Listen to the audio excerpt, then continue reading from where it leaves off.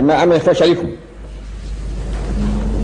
اللي هذه قريب عام ونص وإحنا متريسين على المزلة هذا ولازمنا ننظروا بنتيجة زينة مفيدة للشعب.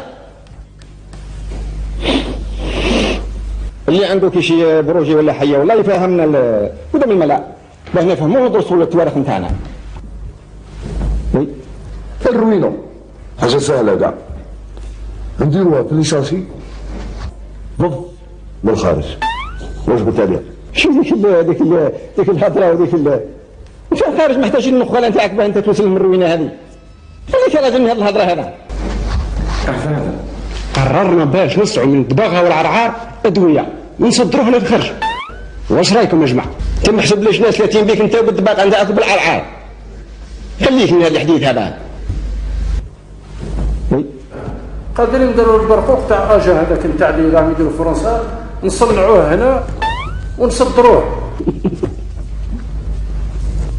واش اللي توثق للخارج نتاعنا فهمتش؟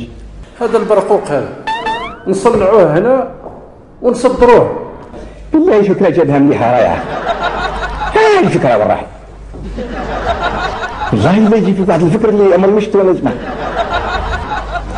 بالله الفكرة الرائعة اللي جابها. الشيخ بالله كنت لي خيرك بالله.